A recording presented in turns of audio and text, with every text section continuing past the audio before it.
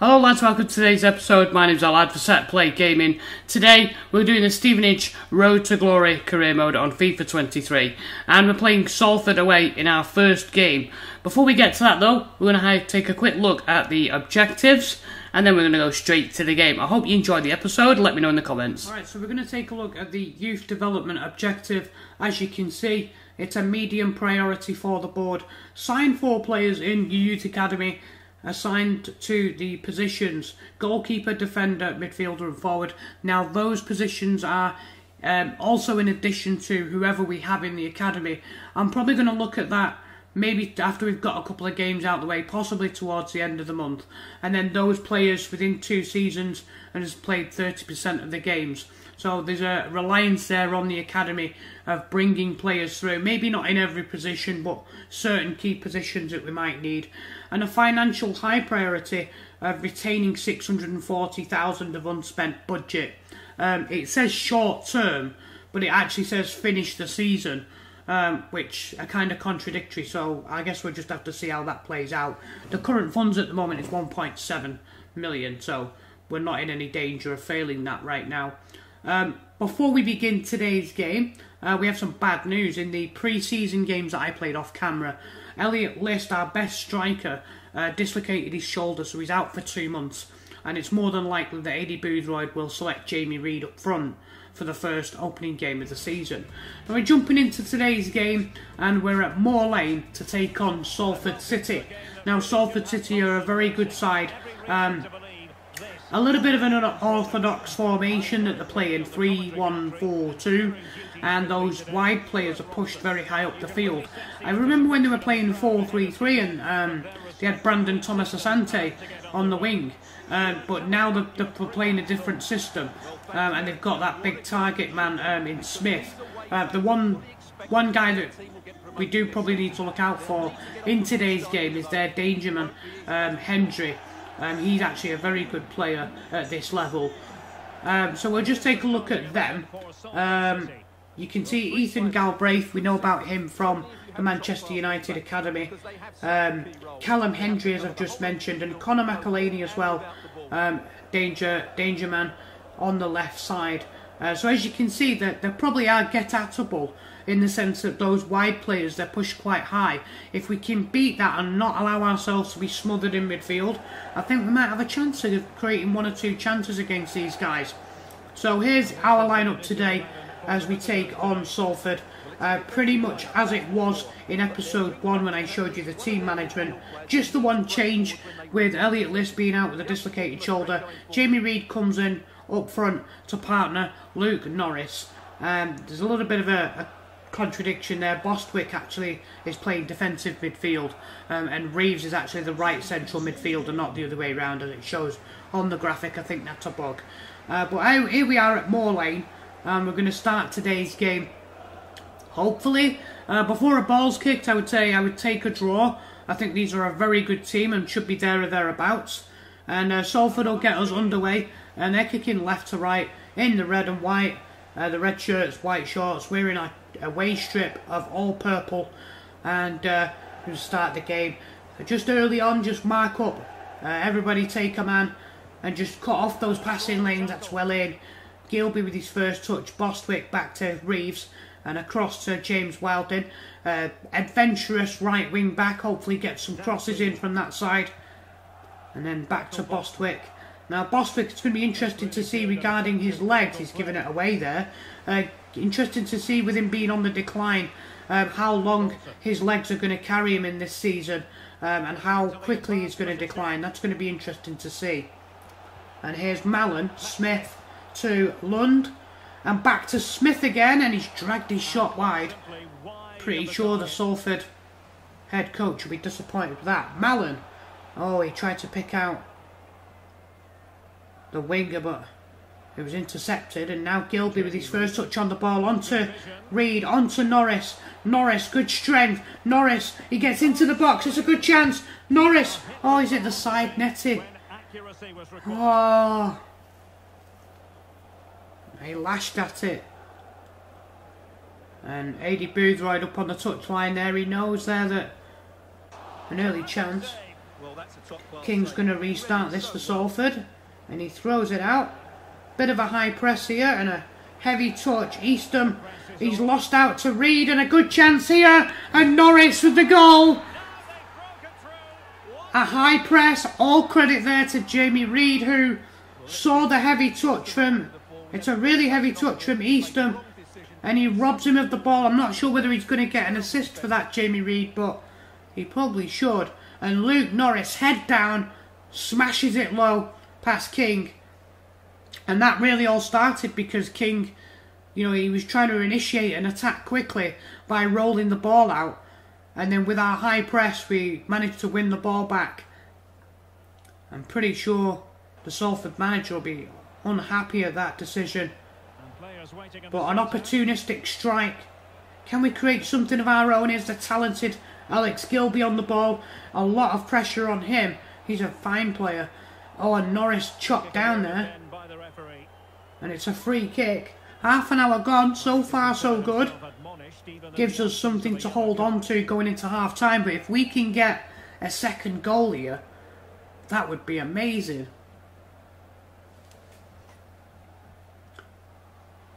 It is going to be Luke Norris.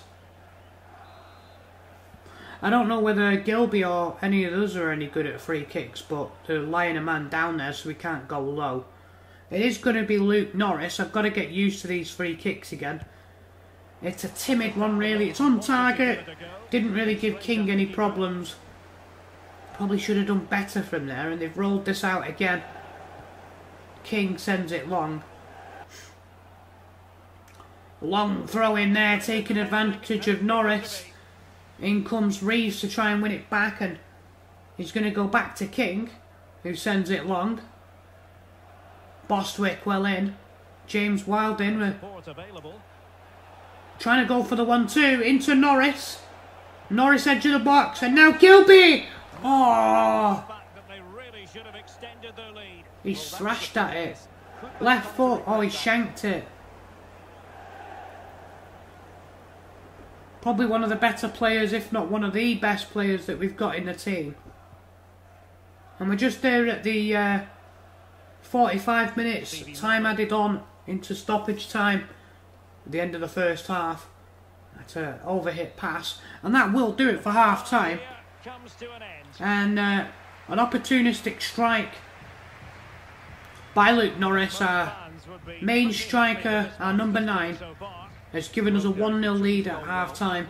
And going into the break, you know, it, it's one of those things where I feel like we've both given as good as we've got.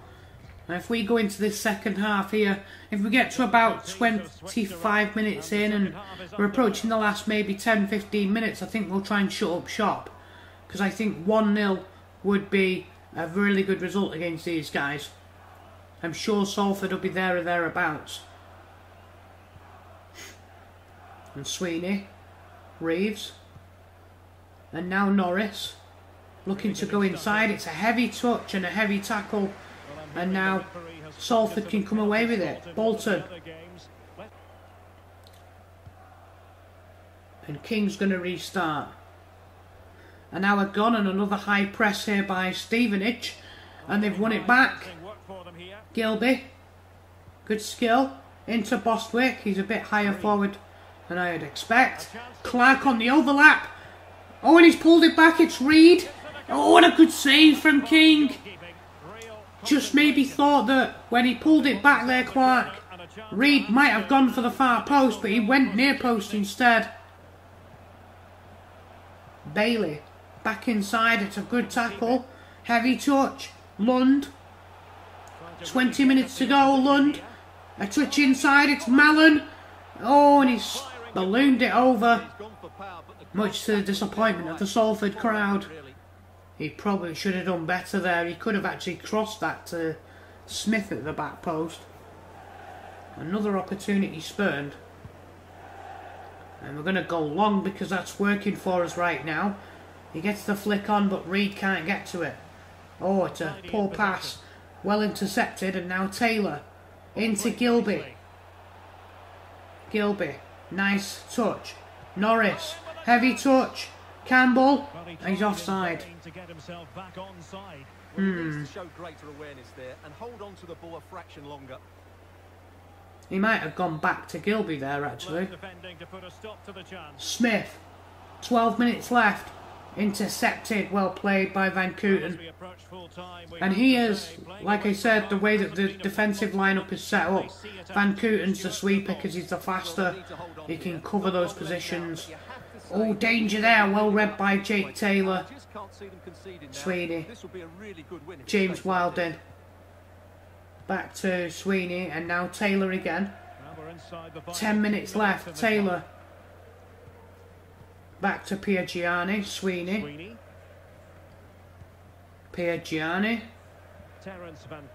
Our control of this game today has been very good. Boothroyd will be pleased at that at least. Really getting stuck in. Well, just listen to this crowd. They want a bit more. They know there's still plenty of time to find an equaliser. Just going to focus on these final few minutes. That's well in. Taylor. Gilbey. Oh, great control. Gilbey into the box. Oh, and he's just been dispossessed there. Intercepted. James-Wildin. Had a raking drive, but never really on target. Three minutes to go. Touray. He's got legs. He's going to have to check back inside. Touray. Oh, he's taken out by Gilbey. Ref wave play on into Smith, who's taken down by Taylor. And at this point, any stoppage of the game is good for Stevenage. Taylor's going to take one for the team there and uh, pick up the yellow. Mallan's going to send this in. Game is almost up. Can Reid hold this up for Stevenage? He can. It's a throw-in. We're into time added on. There's going to be three minutes of stoppage time. Vassell into Hendry. Sliding tackle misses. But in comes Taylor again. He's played really well. Sweeney. We've got the ball. We're just got to make sure we don't do anything silly here. Here's Vancooten back to Taylor. The win is ours. 60 seconds left. As we begin the countdown, this is a great win for us on the opening day. It's probably not been as entertaining as you've liked, but we'll take those three points, and that is surely now full time. Aidy Boothroyd picks up his first win as Stevenage boss on away soil at Moor Lane. We look very organised there. Yeah, there's Aidy Boothroyd. He's happy. He's waving to the away fans and we'll take that. I'm sure, like I said, Stevenage, I'm sure Salford will be there or thereabouts, so I'm happy to pick up that win. And obviously we've got the uh, the cup game coming next. Let me know in the comments what you think. Uh, pretty happy with the clean sheet, and uh, we'll move on to the next game. Alright guys, that's it for today's episode. We'll be back very soon on the channel and I'll be doing the uh, Carabao Cup match We've been drawn against Peterborough United. And uh, it's going to be a tough game, but hopefully you guys can join me and get involved and leave some comments for me. Until then, I'll see you guys next time. This is our lad for Set Play Gaming. See you soon.